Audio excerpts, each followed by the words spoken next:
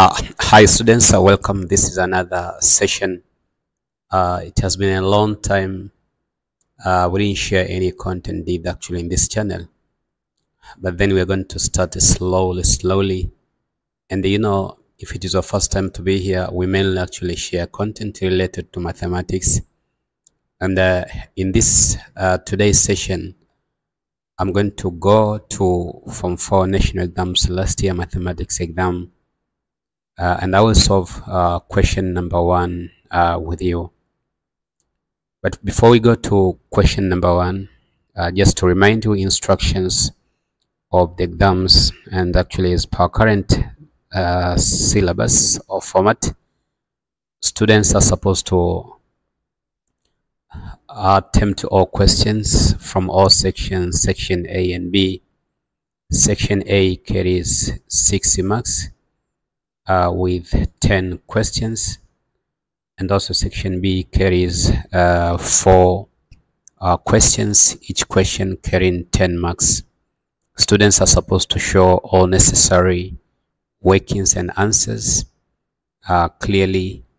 Mathematical tables non-programmable calculators may be used. And the students they have to write their examination number on every page of the uh, answer uh, booklet.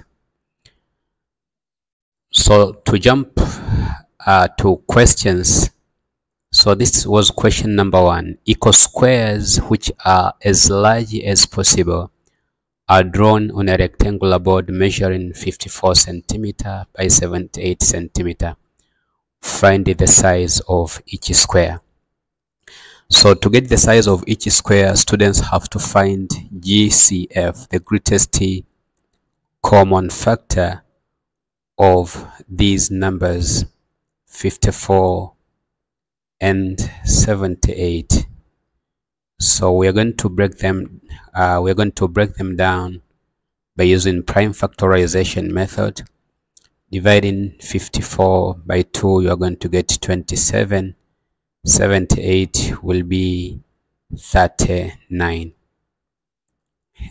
and then uh, by 3 will be 9 then here will be having 13 by 3 once again we'll be having 3 13 by 3 again we'll be having 1 and then 13 it eventually you're going to divide by 13 you're going to get to 1 1 so remember how do we find the GCF we are going to check the common divisor of these two numbers. And here we have 2 is common. We have also 3 is common. So GCF GCF is 2 times 3 which is going to be 60 so the size of each square the size of each square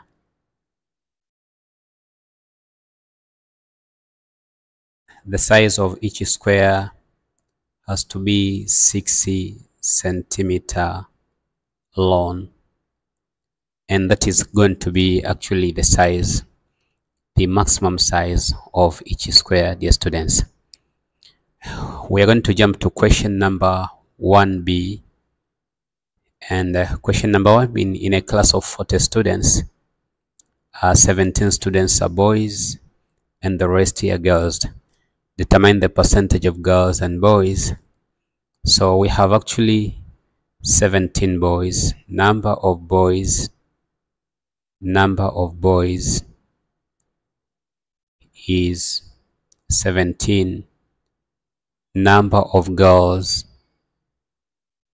will be taking 40 minus 17 you get 23 uh, girls and here you have boys. So determine the percentage of girls and boys. So percentage of boys you're going to take number of boys divided by total number. Total number of students then you're going to multiply by 100%. So percentage of boys, you're going to take a number of boys, which is 17, of course. So I'll be taking 17 over 40 multiply by 100%. So when you multiply, uh, you can use your calculator to plug the details 17 divided by 40. When you take 17 divided by 40, you multiply by 100, you get 42.5%. So this is 42.5%. To get percentage of girls, percentage of girls, I can take number of girls divided by total number of students. Total number of students. You multiply by a hundred. Or you just take 100 minus 42.5 eventually you're going to get the same answer and here we'll be taking 23 divided by 40 times 100 percent. Uh, so the result we'll be getting actually will be getting uh, 57.5 percent. So percentage of uh, percentage of girls is 57.5 percent. What about number of boys in decimals so that is roman 2 number of boys. Number of boys in decimals actually that is going to be 0 0.425 it means the decimal corresponding to 42.5 percent so that is going to be number of boys uh, dear colleagues and dear students and so in overall that is how uh, question number one NECTA 2025 2024 sorry was supposed to be solved. That is all. See you in the other coming session.